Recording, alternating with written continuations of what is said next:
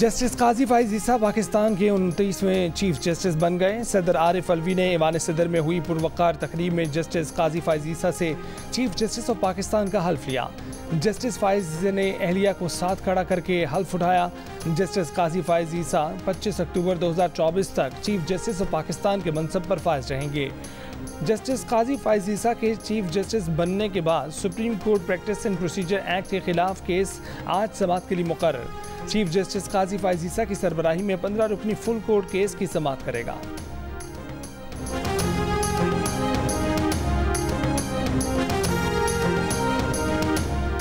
सबक वजी दाखिला और सरबरा अवामी लीग शेख रशीद को पिंडी से गिरफ़्तार कर लिया गया। शेख रशीद के भतीजे शेख राशिद शफीक के मुताबिक सादा लिबास में एहलकार शेख रशीद, उनके भतीजे शेख शाकिर और मुलाजिम शेख इमरान को साथ ले गए।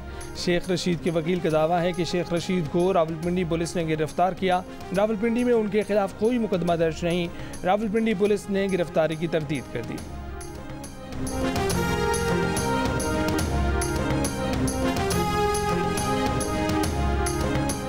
तहरीक इंसाफ के सदर करप्शन केस में रिहा होने के बावजूद लाहौर से अडियाला जेल, रावलपिंडी भेज दिए गए। लाहौर की मकामी अदालत ने परवेज इलाही को लाहौर मास्टर प्लान में मुबैना बेजाबगियों के मुकदमे से डिस्चार्ज किया। रिहा करने का हुक्म दे दिया, लेकिन पुलिस परवेज इलाही को लेकर रावलपिंडी रवाना हो गई।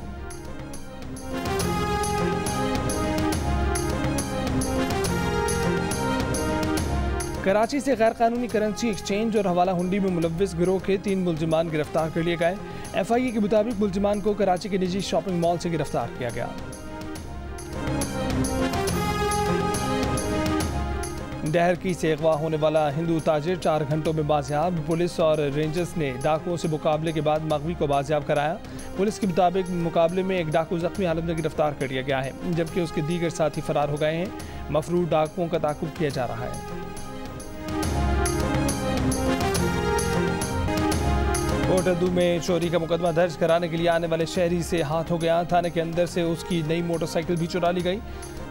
सनावा के रिहायशी आरिफ की शिकायत पर दो मुकदमा दर्ज। मुलजमान की तलाश का दावा, शहरी का एहतजाज। सवाल किया कि शहरी थाने में ही महफूज नहीं तो कहाँ महफूज होंगे?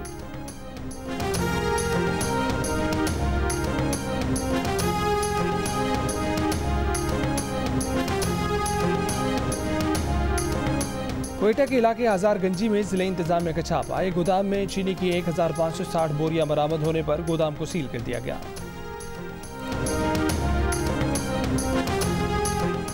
एशिया कप के फाइनल में ना पहुँचने के बावजूद पाकिस्तान क्रिकेट टीम फिर से दुनिया की number one one day team बन गई। वजह ये बनी कि जनूबी अफ्रीका ने ऑस्ट्रेलिया को शिकस्त दे दी। भारत एशिया कप जीतकर भी वनडे रैंकिंग में दूसरी पोजीशन पर आ गया। पाकिस्तान और भारत दोनों की रेटिंग पॉइंट्स 115 हैं, लेकिन पाकिस्तान को डेसिमल पॉइंट्स पर बढ़तरी हासिल है। ऑस्ट्रेलिया की टीम 113 पॉइंट्स के साथ तीसरे नंबर पर चली गई।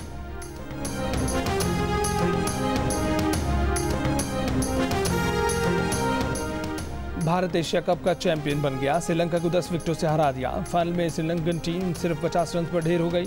मोहम्मद सिराज ने छह विकेटें हासिल की। हार्दिक पांड्या ने तीन और बुमराह ने एक खिलाड़ी को आउट किया। भारत ने हदफ छह इशारिया एक ओवर में हासिल कर लिया।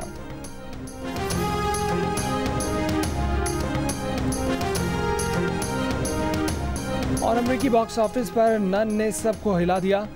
खौफ और दहशत से भरपूर फ़िल्म। द नन टू का मुसलसल दूसरे हफ़्ते भी नॉर्थ अमेरिकन बॉक्स ऑफ़िस पर राज।